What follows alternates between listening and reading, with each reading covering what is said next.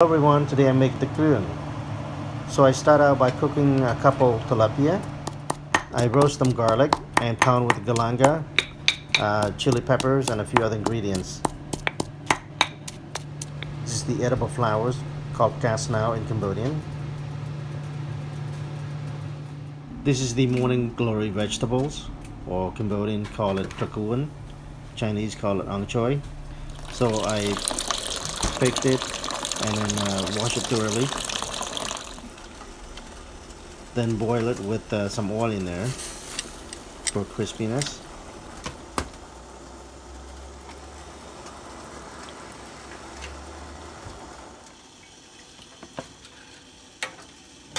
What I'm doing here is uh, boil a pot of um, water, then add the galanga and the uh, uh, lemongrass in there and also what you see in here is the anchovy.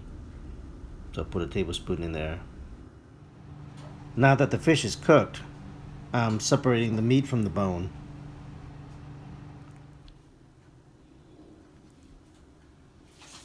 The next step is I'm adding the fish meat into the pot and add seasonings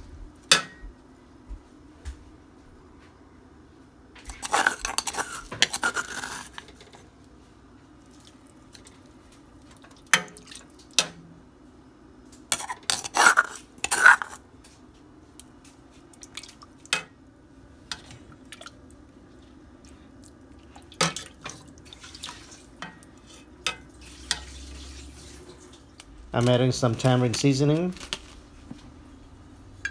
some fish sauce, and if it's not sour enough, you can put some lime in there. I'm starting to add some sugar and a few other ingredients for flavors.